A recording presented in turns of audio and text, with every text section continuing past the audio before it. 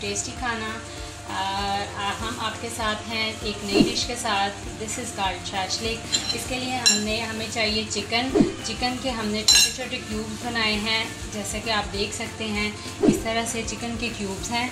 और इसकी मैरिनेशन के लिए आपको क्या चाहिए? हाफ़ के लिए half K G chicken tikka masala half pack सूखा धनिया वन टीस्पून ज़ीरा वन टीस्पून नमक हसब ज़ायका, सिरका half cup soya sauce two tablespoon अदरक, लहसुन पेस्ट वन टेबल स्पून दादर मिर्च up to taste and lemon juice दो लेमन का आप जूस इसमें स्क्वीज़ कर सकते हैं।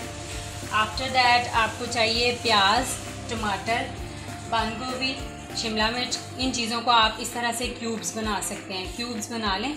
अब इसकी जगह पे आप, शिमला मिर्च की जगह पे आप कुकम्बर यानी खीरा भी यूज़ कर सकते हैं। ये सलाद है, आप सलाद में कुछ भी यूज़ कर सकते हैं इसको कलरफुल बनाने के लिए।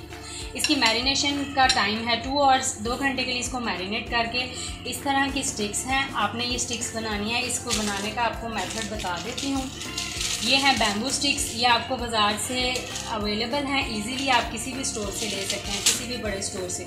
ये स्टिक को हम कैसे बनाते हैं, इसका मेथड आपको बताते चलें। Take a cube of chicken then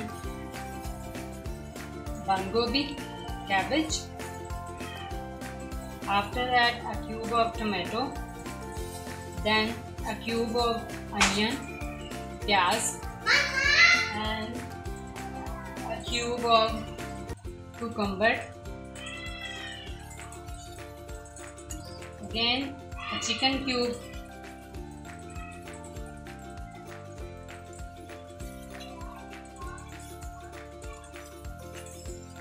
इसी तरह से आप सारी स्टिक्स बना लें। एक स्टिक बनाने का method due to short time मैं आपको बता रही हूँ। आप इस तरह से स्टिक्स बना लें। दैट्स अब हमारे पास स्टिक्स हैं। आप इनको देख सकते हैं। इसके बाद थोड़ा सा हम इसकी मैरिनेशन डाल लेते हैं सो so दैट ये प्रॉपरली जूसी हो जाए। ये आप जब बनाएँगे तो आपको पता चलेगा ये बहुत ही जूसी बनेंगे। दीज आर काल इनको इनको बोलते हैं शैशलिक स्टिक्स आप इसमें सलाद के लिए कुछ भी यूज़ कर सकते हैं। चिकन की मैरिनेशन अगर आप चेंज करना चाहते हैं, वो भी कर सकते हैं। अब हम इसमें सॉल्ट थोड़ा सा ऑयल ऐड करेंगे। पैन में हम थोड़ा सा ऑयल डालेंगे।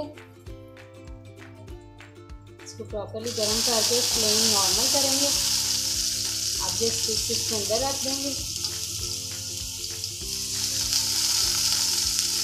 इसके बाद तो थोड़ा सा गरम करेंगे।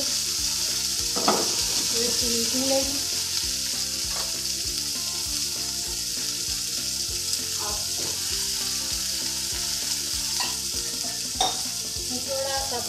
करेंगे।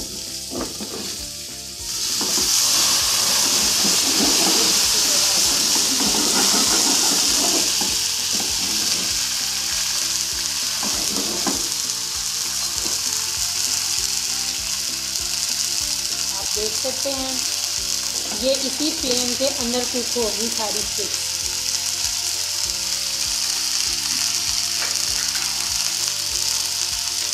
थोड़ा थोड़ा आप इसमें ऑयल डालते जाएँ।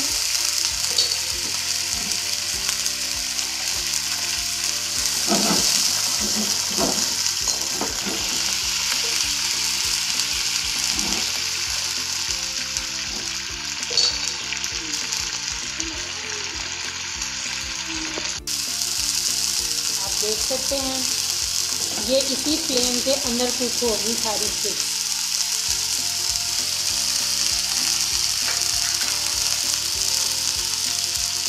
आप इसमें ऑयल डालते जाएँ।